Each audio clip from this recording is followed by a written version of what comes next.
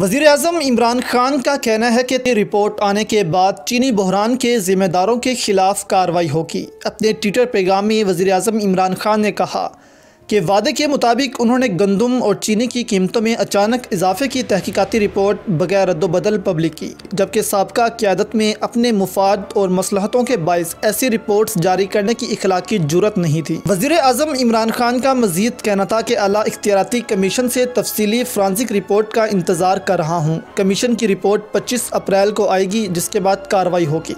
جبکہ رپورٹس آنے کے بعد کوئی باثر مافیا عوام کا پیسہ ہڑپ نہیں کر سکے گا۔ واضح ہے کہ حکومت نے کل چینی اور آٹا بحران پر تحقیقاتی رپورٹ پبلک کر دی تھی، جس کے مطابق جہانگیر ترین اور خسرو بختار فائدہ اٹھانے والوں میں شامل تھے۔ جبکہ چودھری برادران مریم نواز کے سمدھی، شریف برادران اور آصف زرداری نے بھی بہتی گنگا میں ہاتھ دھوئے۔